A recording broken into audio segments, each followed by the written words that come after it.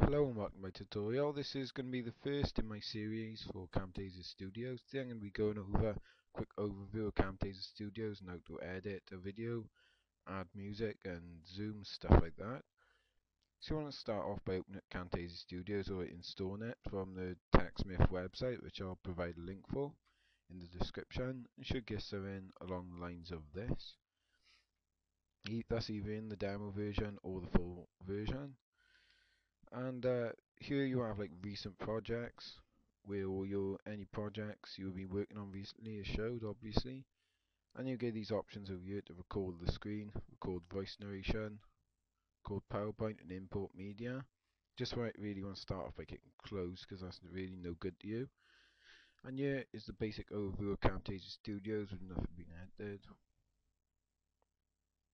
So you want to start uh, so let's just start off over here you have the preview window where your video is shown. A quick preview of it. Down here you have the timeline. This is where the audio and the video is shown on a timeline so you can cut it and edit it and select parts.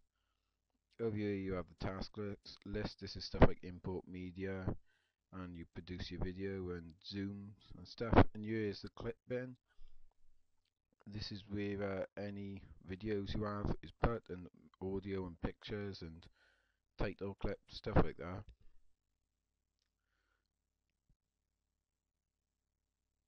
And uh, let's just start off then. I'll show you how to edit a quick video. You want to start off by going to import media navigate then to your video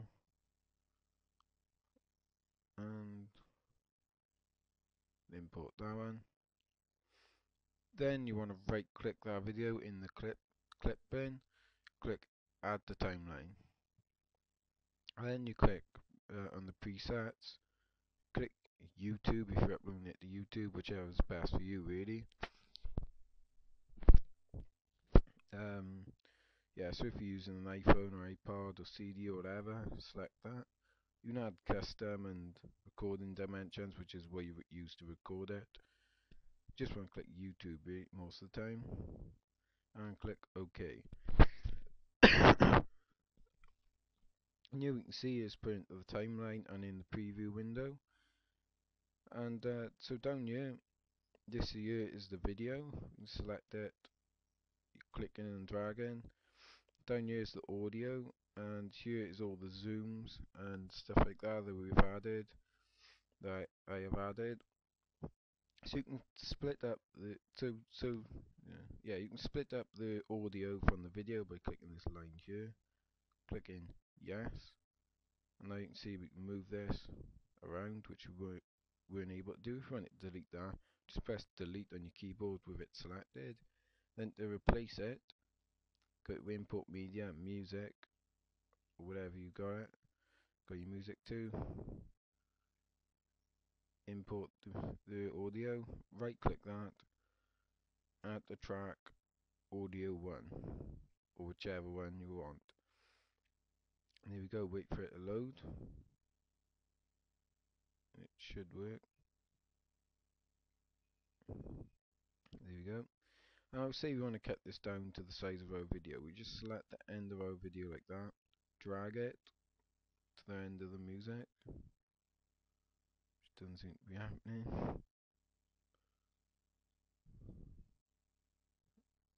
Here we go. And just select cut this little scissors tool here. There we go, let's cut it down to length now. Now say you want to add new zoom in, say I want to zoom in on this over here. Just click zoom and pan uh, with the area selected like that. And just move this box around. So now I still want to zoom in on that icon. Select it kind of like that. Unfortunately there's no way to get rid of the green bar which you'll see in a second. But you can make you zoom in faster and slower. Now if I just view that. See the green bar coming around it zooming in on the location. I don't think there's any way to remove that green bar which is a pity really and now say you finish your video uh, and you want to produce it.